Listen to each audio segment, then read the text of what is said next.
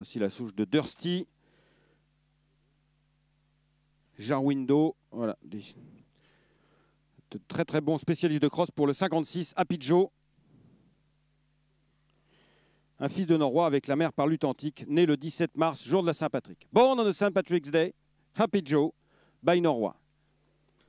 From the family of the best uh, cross-country horse of all time in France, Archibald five-time winner of the Grand Cross de Cran.